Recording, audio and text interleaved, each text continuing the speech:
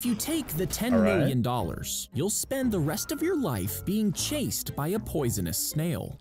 This actually parallels nuclear power economics pretty well. It might sound like a good deal, but the snail And nuclear power is a good deal. never stops moving. And if it touches you, you die.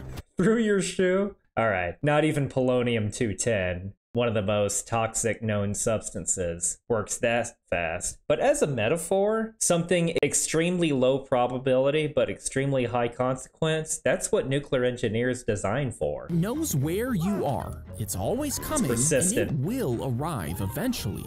Now, except in the case of nuclear power, the accident isn't inevitable, but it's something that you just need to treat the energy with respect and design robust systems to protect you from something like this. In this case, a snail in a containment structure. Make it triple redundant like a nuclear plant, too. You could move countries and switch hotels every few nights. But if you slip up Okay, that's at least actions that he's taking to minimize the chance of getting caught. Redundancy, fail-safe systems, constant monitoring, and in-depth training.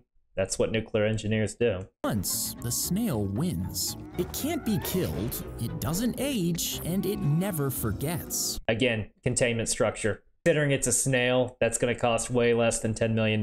Would you take the money if it meant a lifetime of paranoia? Take the money, but no paranoia. Put it in a containment structure, keep it monitored, and then you're good.